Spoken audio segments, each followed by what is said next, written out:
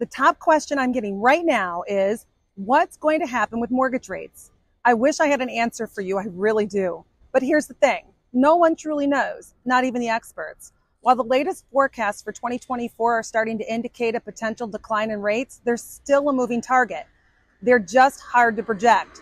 So here's the best advice I can give you control what you can control, not what you can't. The truth is, if you're ready and able to buy a home, experts typically recommend focusing your search on the right home purchase, not the interest rate environment. That's because home prices will just continue to rise and you won't be able to go back in time and buy at today's prices five or 10 years from now. If all this stuff is on your mind, I'm here to help you think through it so you can make the best possible decision when the time is right for you. Let me be your partner and help you navigate our local market and build the perfect plan to get the house that you want.